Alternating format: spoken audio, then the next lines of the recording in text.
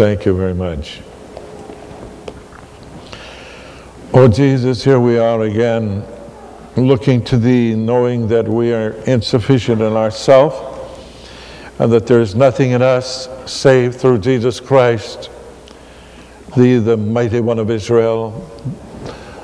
For Thee so loved the world that Thee gave to us Thine only begotten Son, that whosoever would believe in Him should not perish, but have everlasting life.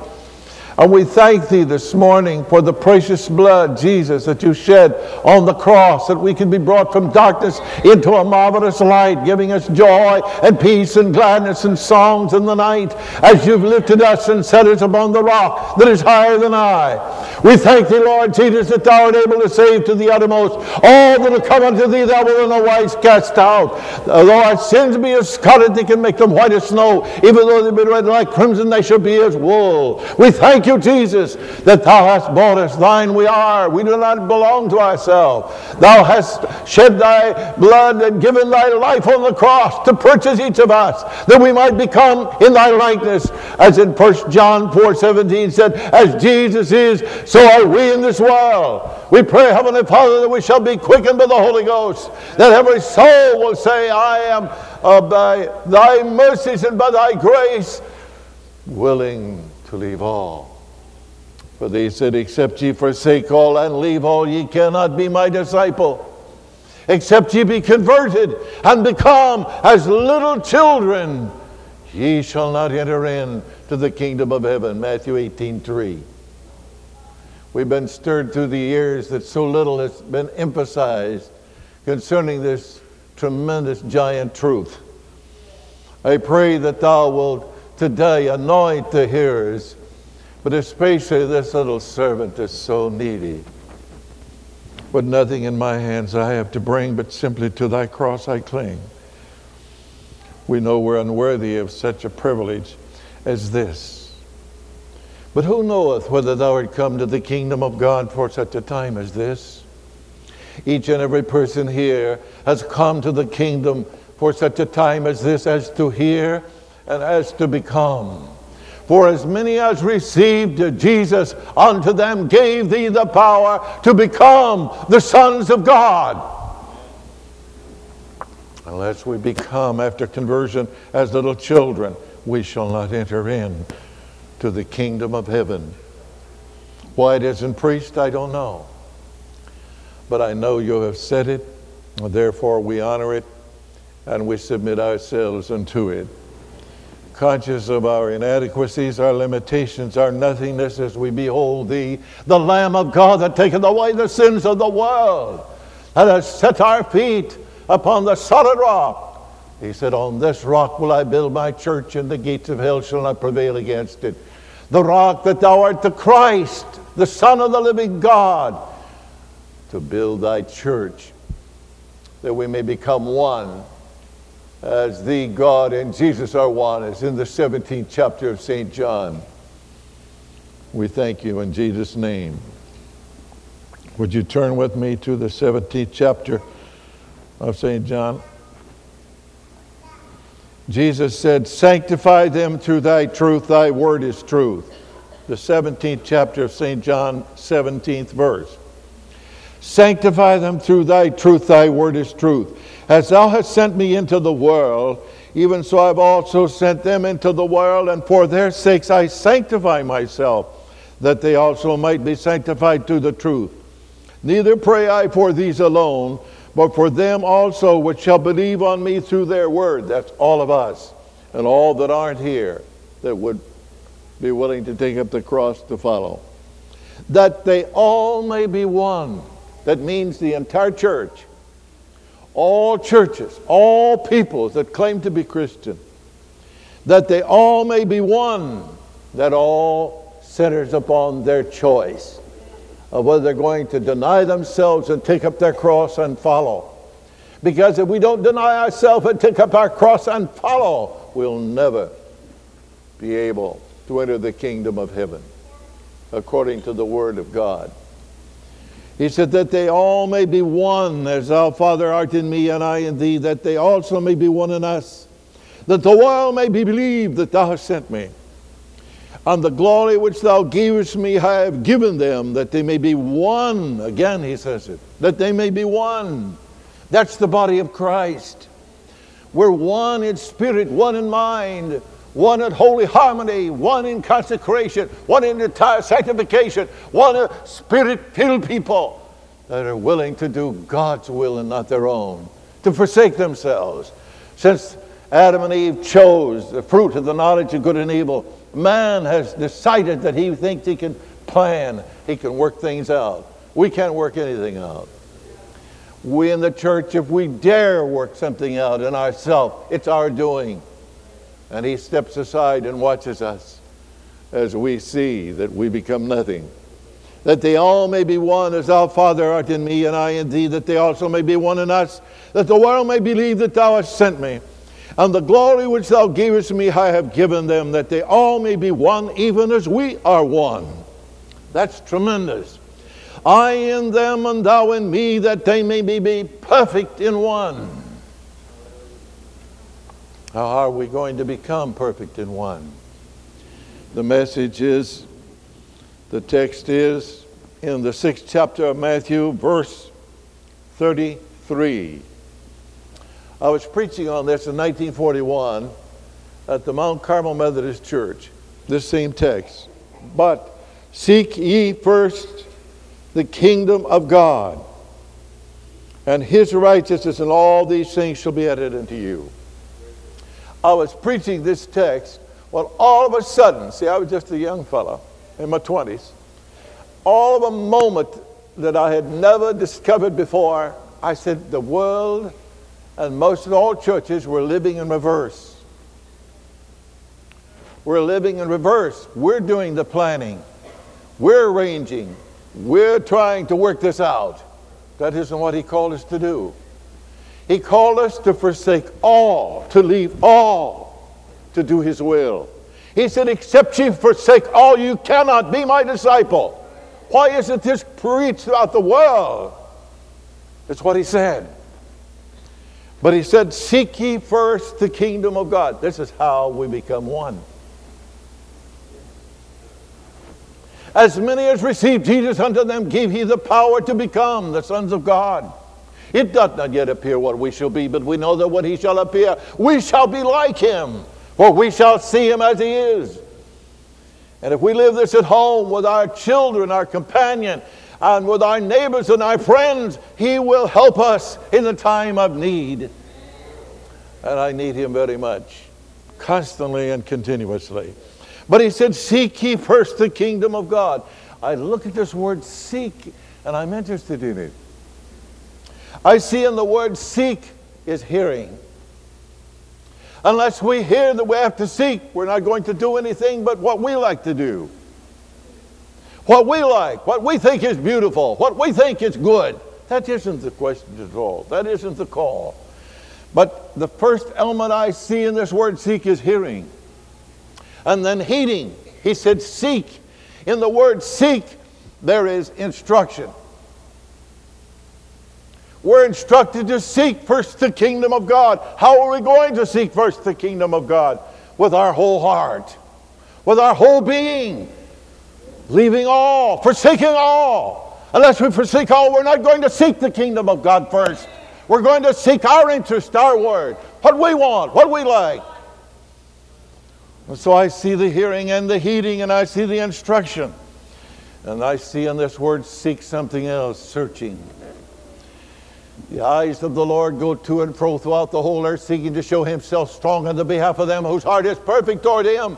He's in a search. He's been looking for men and women through the ages that would do God's will instead of their own. It's seldom been in any age.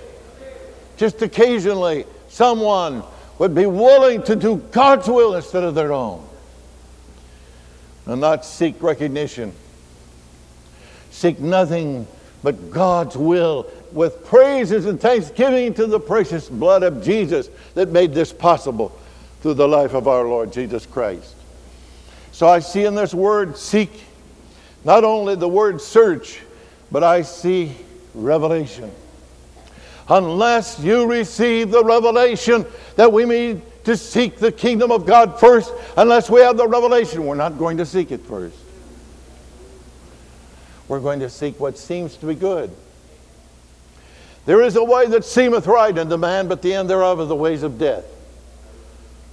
We must not go in that order. We must have the revelation of the urgency of seek ye first the kingdom of God. The kingdom of God is righteousness, peace, and joy in the Holy Ghost. That's the kingdom of God. Righteousness, peace, and joy in the Holy Ghost. Hallelujah, right in there. Hallelujah, hallelujah. Glory, glory, glory. When you have the joy of the Lord in your heart, you have His strength, you have your anointing, you have the joy that you want everybody else to have. Hallelujah. You can't work this up. It's got to come from above. Hallelujah. Praise God. I tell you, if you've got the joy in your heart, you respond. You're the Son of God. He said, My people are a people of great joy. Have you got the joy of God in your soul today? Have you got the joy of Christ within you? If you have, I tell you, you have something that you want everybody else to have. Oh, I tell you, God's been seeking people. We're not willing lots of times to do, our, uh, do God's will. We want to do our own will. Hallelujah. Praise God from whom all blessings flow that He's able to take an old sinner like me, transform me, and bring me into light and joy and glory and gladness. Hallelujah.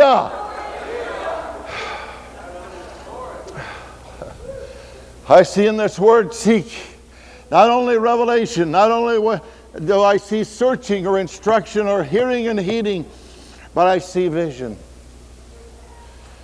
The word seeks full of vision.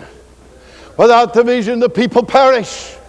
Without the vision, the people perish. And that's what this world is doing. Our prisons are overcrowded because church people haven't been obedient to God.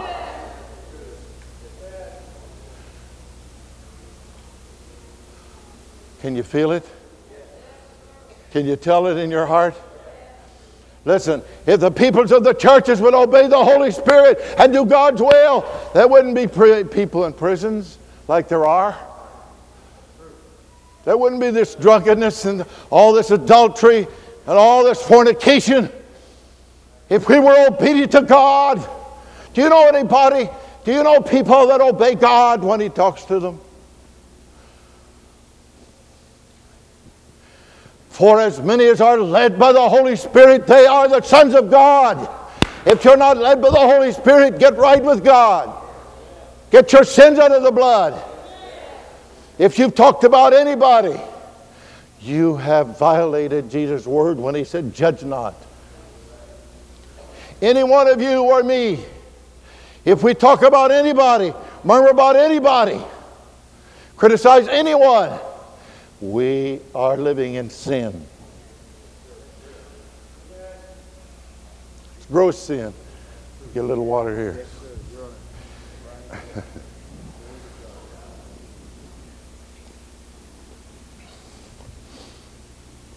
Hallelujah for the anointing. Without the anointing, we can't do anything. I sit here thinking, here I'm the least one of all that's in this place. And here Jesus would have have mercy on me to come in my soul, anoint my heart with the Holy Ghost. Because it's just a few feet from the spot. It's where Jesus led me 62 years ago next month. Just a few feet from the spot where I'm at now. That's when He gave me the first leading of the Holy Ghost. Hallelujah, hallelujah, hallelujah, hallelujah. Glory to God. We want to praise Him and give Him the glory. And let this place be filled with His presence. Because we're nothing. So, without vision, the people perish.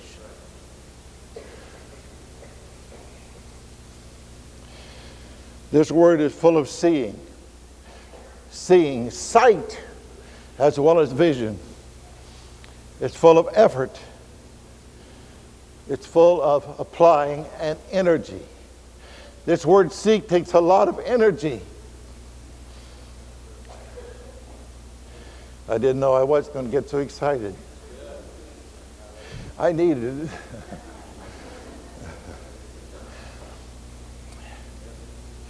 I see in this word seek is the applying of energy. In this word seek is not only that, but it's perseverance. If we don't persevere, we're never going to seek. If we fail to deny ourselves, we're not going to seek.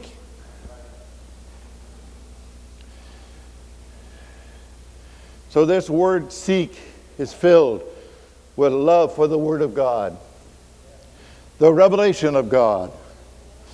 This word seek is full of prayer, it's full of praise, it's full of self denial, it's full of dying daily. This word seek requires me dying from morning to night. That's you too. Every person in the Church of Jesus Christ and all clergy, if we don't die to ourselves, we'll be doing our will. And God's been crowded out most of the time since the beginning. This is my revelation by God's grace.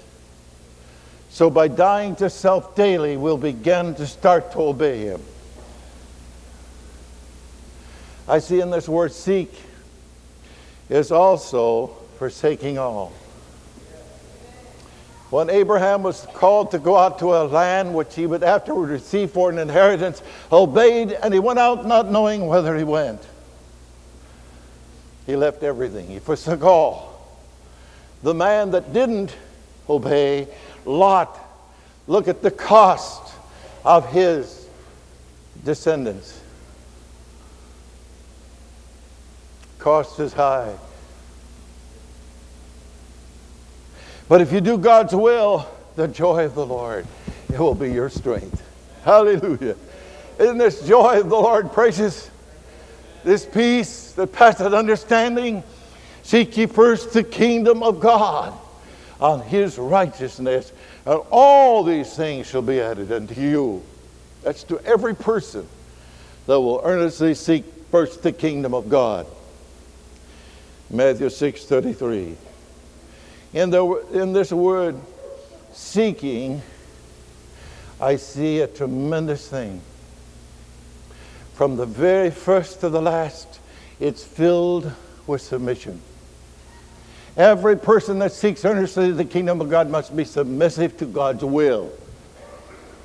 Jesus said, Not every one that prays, Lord, Lord, shall enter the kingdom of heaven, but it's he that doeth the will of my Father which is in heaven. We can pray, we can preach, we can go through beautiful worship services, but unless the Holy Spirit is leading, it's our doing. And I need Him every second. My family's heard me say this over and over for years and years. I need him every breath. I need him every step that I be cleansed vessel, sanctified meet for Jesus' use. Not finding fault, not criticizing anyone. The Lord revealed to me at the baptism of the Holy Ghost on April the 14th, 1942. He revealed to me that I could never again criticize anyone to my wife or judge anyone again or to complain about anything. Because the Bible said that's not what we're to do. And whenever we complain and we murmur and we find fault, we're living in sin. When we criticize people and we judge people, Jesus said, Judge not. Every time a person does that, he has violated the word of God. He has been, become disobedient to the word of Jesus Christ. And so we are submissive that I want, I want to bring to your attention. And the word seek, it's utter dependence. Unless we're utterly dependent upon the Lord as little children, is upon the parent, we're not going to seek first the kingdom of God. There's a lot in this word seek. I can't find the end of it. Only a little fragment of it, perhaps. But the utter dependence that he calls for in us is as little children are utterly dependent upon their, on their parents. And we must become utterly dependent upon Him as we are here this morning.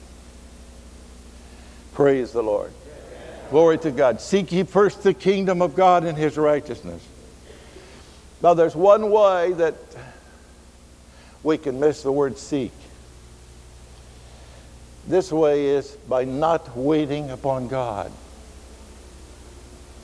That's a good way to miss the word seek first the kingdom of God. Is only as we wait upon Him. Only as we wait upon Him will it be revealed to our hearts the sacredness, the seriousness, the greatness, the humility that it requires, the brokenness that it requires. Unless we're very broken, we'll not seek first the kingdom of God.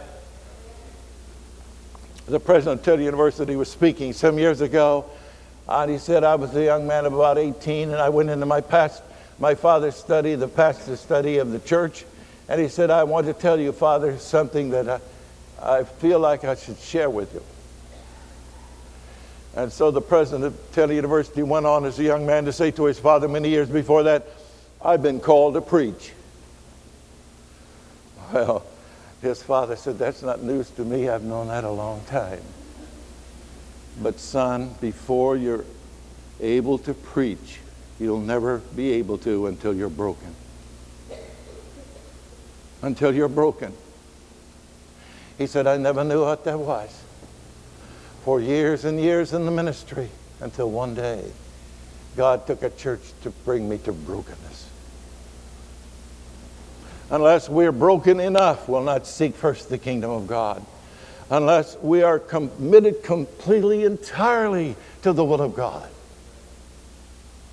Because He said that He would lead His children by the Holy Ghost. And as I meditated about what I should speak about, this is the message. Jesus said, Seek ye first the kingdom of God. But I see here in this precious word seek that we must have an awareness of the necessity of becoming one. In the word seek, we must have an awareness of the urgency, the necessity, the expediency of becoming one body. That means that we've, we've confessed our sins We've made our restitutions. If we haven't asked people to forgive us for the things we said about them, we'll not seek first the kingdom of God.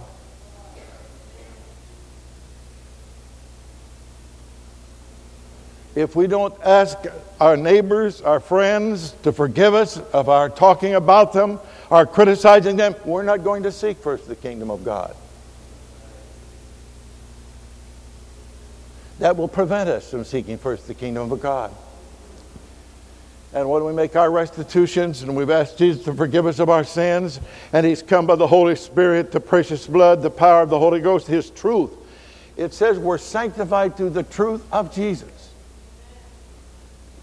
Sanctify them through the truth, thy word is truth.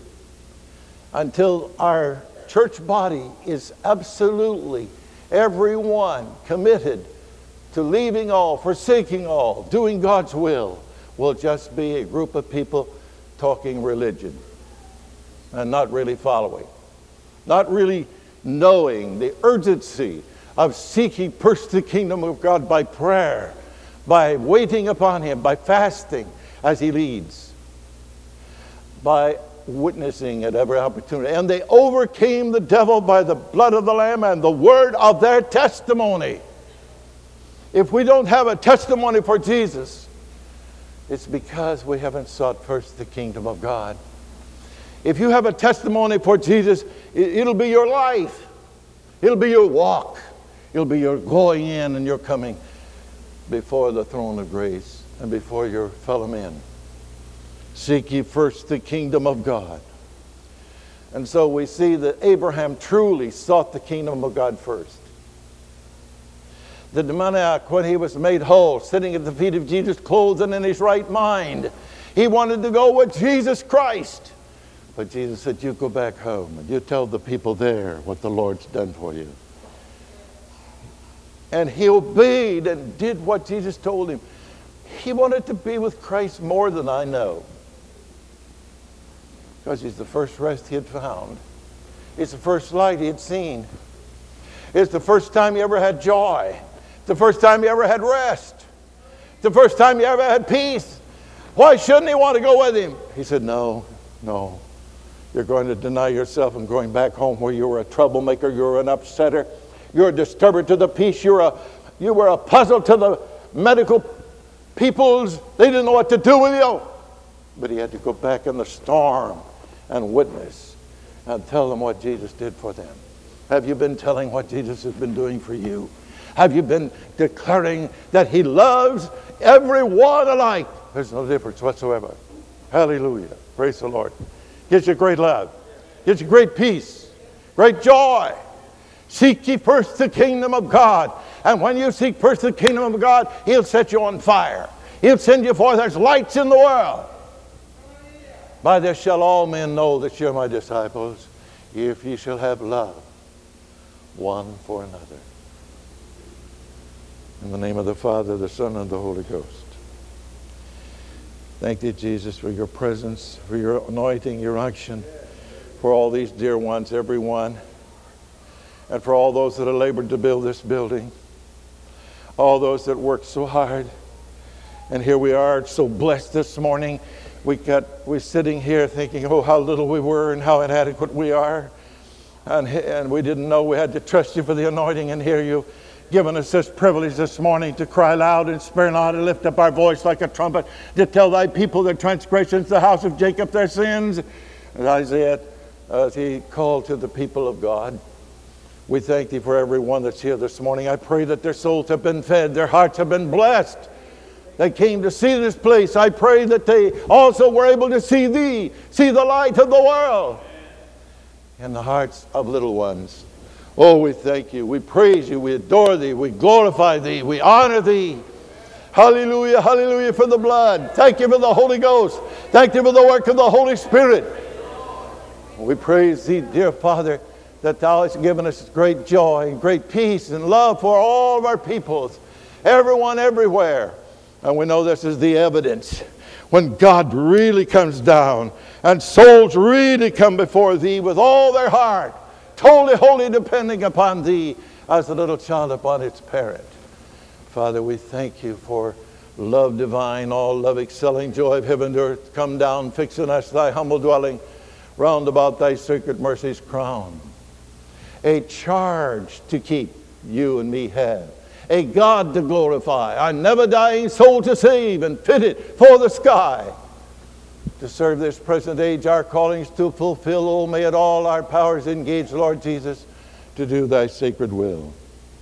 Let's turn to just as I am, and let's sing together, just as I am, without one plea. All the plea we have is but the blood, the precious blood, the mercies of God.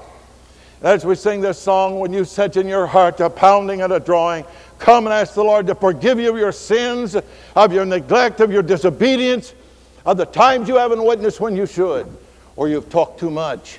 Ask God to blot it out so He can start leading you by the Holy Spirit and guide you and direct you. For as many as are led by the Holy Ghost, they are the sons of God. Romans 8 and 14. On this, we want to give God the praise and the glory. Let us all stand, please. Just as I am without one plea, but that thy blood was shed for me. And that's a real precious song to sing. And it's appropriate this morning. Hallelujah. We're thankful for the blood. Hallelujah. For the Holy Spirit. Be obedient as we sing. Number 109.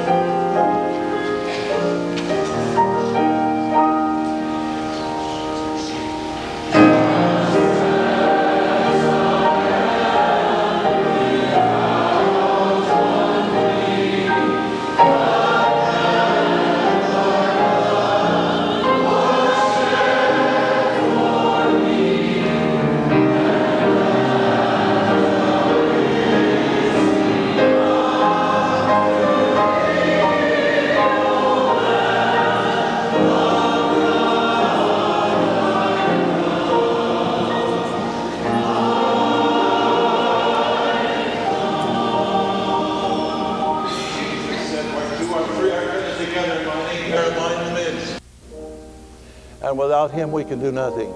But as the Holy Spirit deals in your heart, make your way to the altar. If you can't, just pray in, in the pew where you are. But let Him have His way with you. Please be obedient to the Holy Spirit. Let Jesus be first.